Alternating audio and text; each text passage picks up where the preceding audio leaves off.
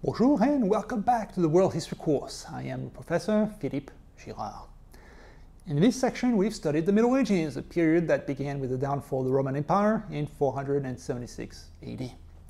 Downfall of the Western Roman Empire, I should say, because the eastern part survived until 1453 AD. It was known as the Byzantine Empire, and it is our topic for today. The Byzantine Empire was named after its capital, Byzantium, which would correspond to Istanbul in Turkey today. Yet another name for that city was Constantinople. In this class, we studied the word polis, which means the city in Greek, and Constantine, that first Roman emperor who converted to Christianity. So you may have guessed by now that Constantinople, that means the city of Constantine. And you'd be right. Emperor Constantine, he was the one who moved the capital from Rome to Constantinople in the year 330 AD. This date, 330 AD, effectively marks the beginning of the Byzantine Empire.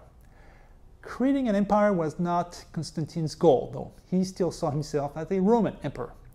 But over the next century, as pressures on the Roman border grew, later emperors split the Roman Empire into two parts, one in the west governed from Rome, and one in the east governed from Constantinople and what was supposed to be a temporary expedient to respond to threats from barbarian invaders became permanent uh, when the Western part empire collapsed for good in 476 AD, and only the eastern part survived as the Byzantine Empire. Amazingly, the eastern remnant survived for 1,000 years. So our first question for today is what made the Byzantines more militarily successful than their Roman counterparts? Well, for one thing, the city of Constantinople itself. It was located in a strategic spot alongside the straits that divide Greece from Turkey and Europe from Asia. The city was on a peninsula, so it could easily be defended by sea as long as the Byzantines had a strong navy, which they did. On the landward side, the Byzantines built massive walls that protected the city from invasion. Those walls were only breached twice in their thousand year history. Like their counterparts in Western Europe, the knights, the Byzantines also employed heavily armored cavalry, what they called cataphracts. By combining speed and firepower, they played the role of a tank on a modern battlefield. This gave Byzantines an edge when facing Arab armies, which typically employed lighter cavalry in combat. Other tactics were more unique to the Byzantines, actually both tactics and strategy, which are two different things. Tactics, that refers to techniques used on the battlefield, whether you use uh, an attack on the right flank of your enemy or the left flank, for example. Strategy, that's the big picture, whether you win a war by relying on an economic blockade instead of a frontal assault, for example.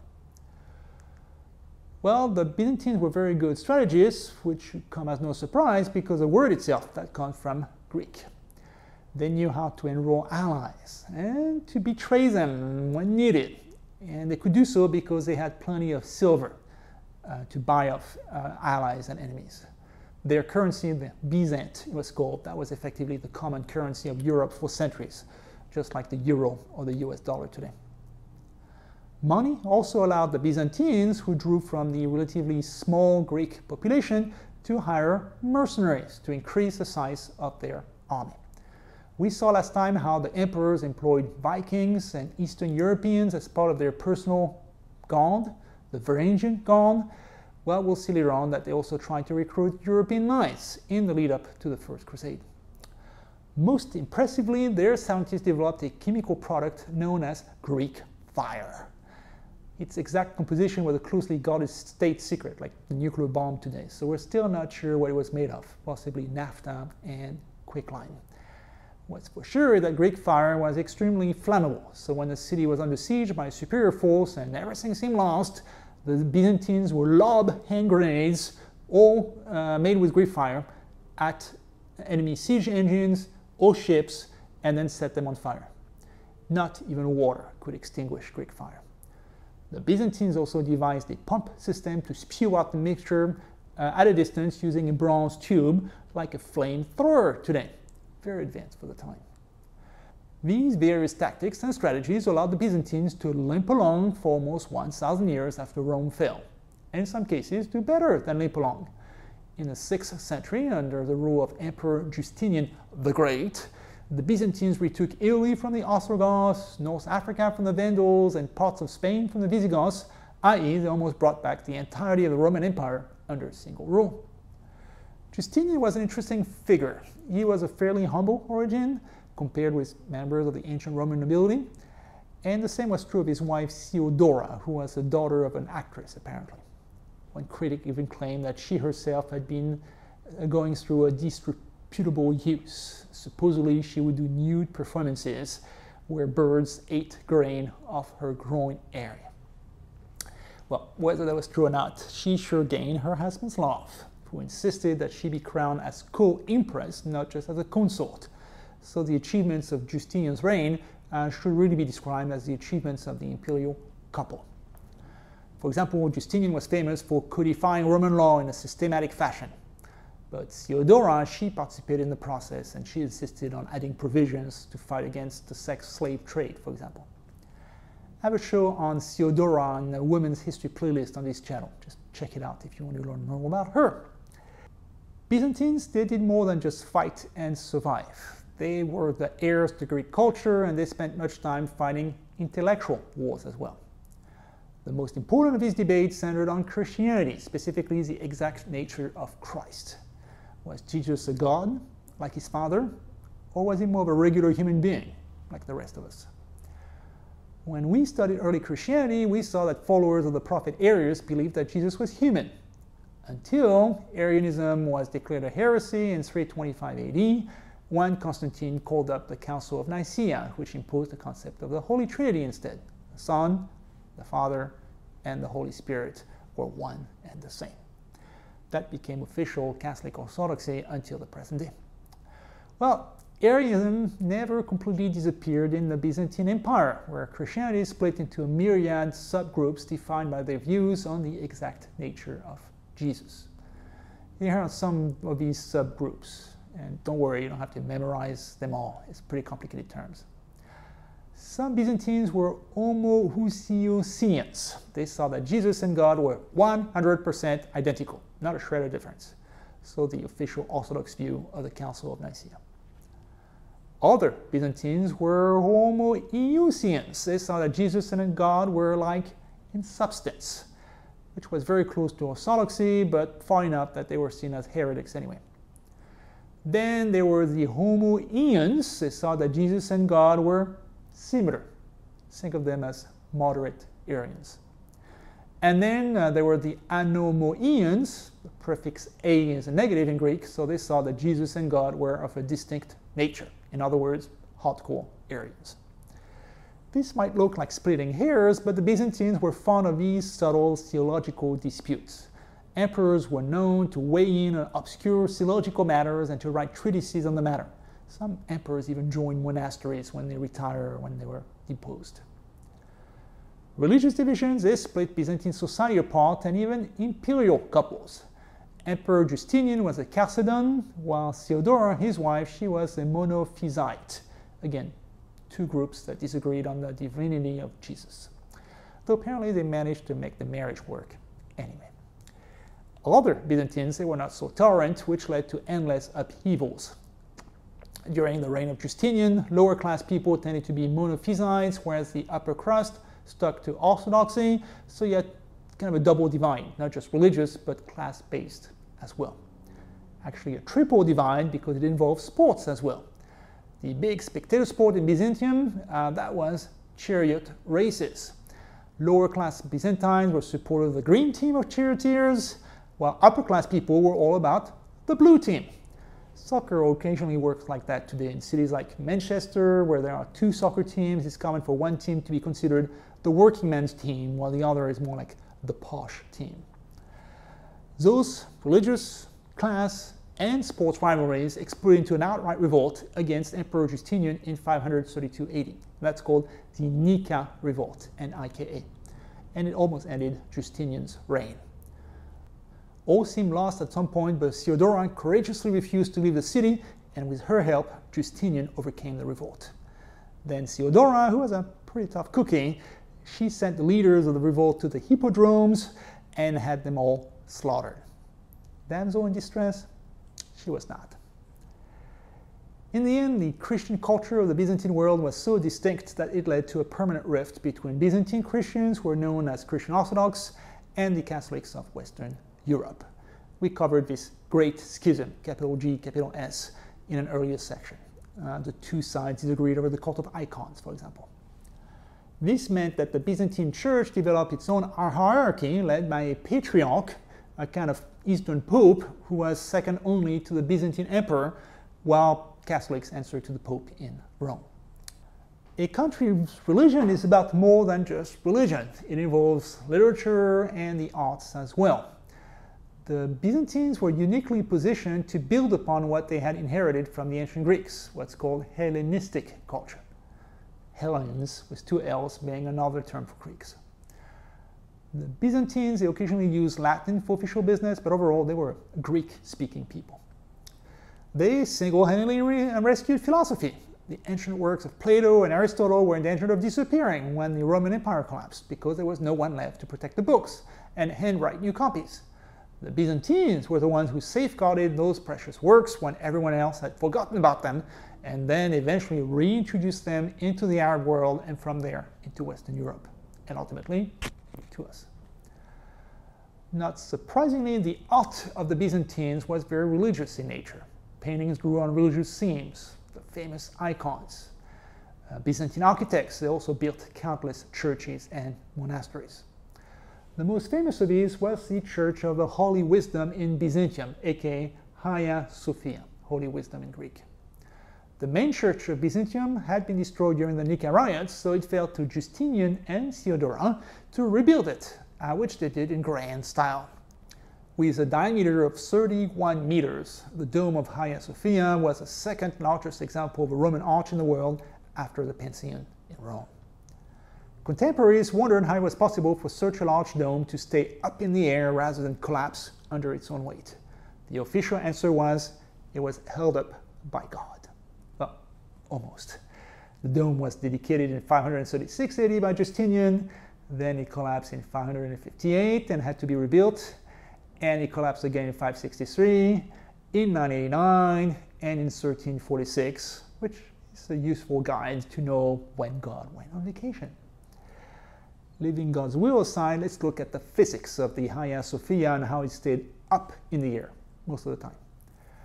The main purpose of architecture, to oversimplify a little, is to create a vast internal space, uh, which means a roof or dome with a very, very long span.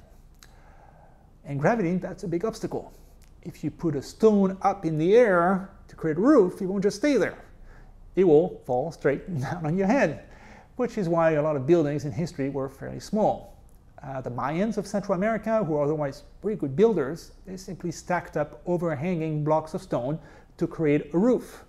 Uh, but that technique only allowed them to create tiny rooms at the top of their pyramids any wider and the central stones would collapse. Either that or you could cheat and use wooden beams instead of stone for the roof. That's what the Greeks did for the famous Parthenon. And to the Romans, who were great engineers and made a major step forward when they invented the Roman arch. Uh, they installed a temporary mold of wood and used it to stack a half circle of stones. By the time the last stone at the top, the keystone, was installed, you could remove the scaffolding and ta-da! the weight at the center would be magically redistributed to the next stone and then the next until the vector reached the walls to the side and then downward into the ground. This opened the way for much larger internal spaces like the Parthenon in Rome or elegant bridges like the Pont du Gard in France.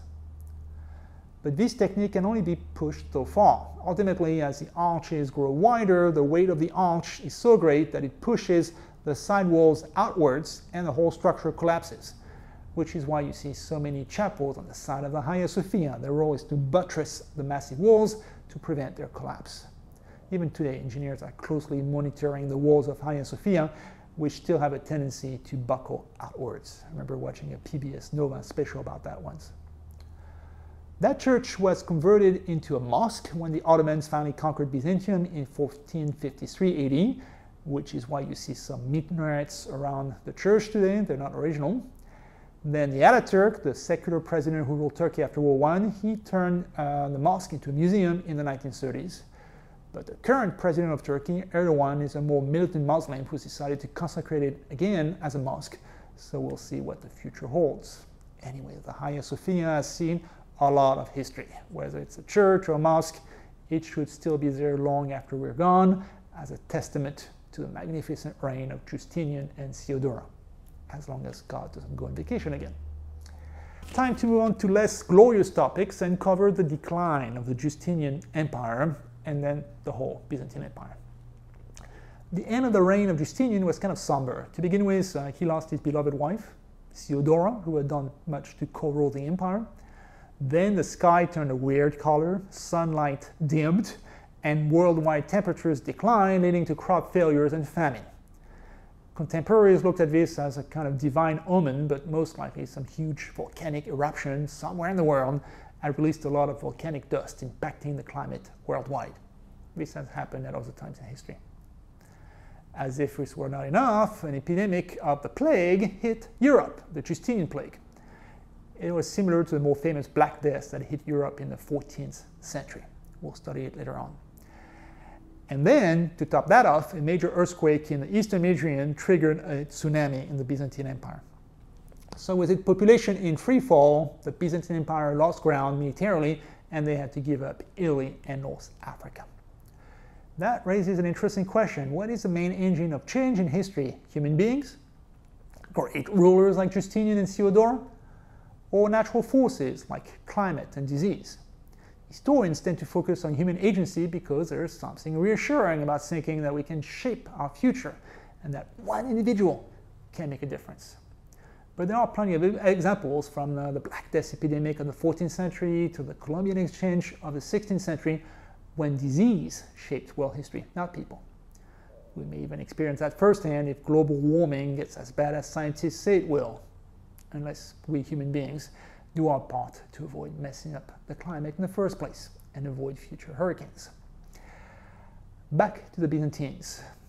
Epidemics and volcanic eruptions aside, they were an empire built by military might and they were destroyed by superior military might. The Arabs were one such potent rival. We saw last time how, in the 700s, they conquered vast tracts of the Middle East that had once been part of the Byzantine Empire, like Egypt. Then, in the 11th century, another Muslim group burst into the scene, the Turks, who came from Central Asia.